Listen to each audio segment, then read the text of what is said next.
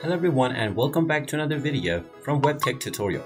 In this video, I'm going to show you how to change your address on Walgreens. So let's get started right away. First of all, open up your web browser and then in the address bar type in walgreens.com and press enter. You will now be taken into the official Walgreens website from which you can log in by clicking on the account icon at the top right corner and clicking on sign in. Then just use your credentials and log into your account and you will be taken into this homepage. Now from this page, in order to change any setting, click on your account icon at the top right corner and then click on your account. You will then be taken into your account settings page from which just hover over to your profile icon and then click on personal information. You will then be taken into your personal info page. From this page, you will be able to find your address section underneath your name. If you scroll down, you will find the edit button, so go ahead and click on it.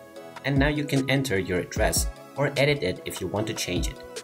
Go ahead and type in your desired new address, including your apartment, your suite, or any other form of indicator. Then enter the name of your city and then choose your state.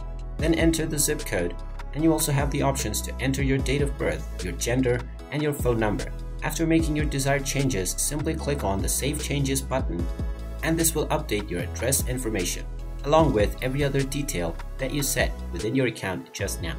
And there you have it. That is how easy it is to change your address on Walgreens. If you find this video helpful, make sure you hit that like button and subscribe to our channel if you haven't done so already. Also ring that notification bell to never miss another update from us. Thank you for watching and I will see you again in the next video.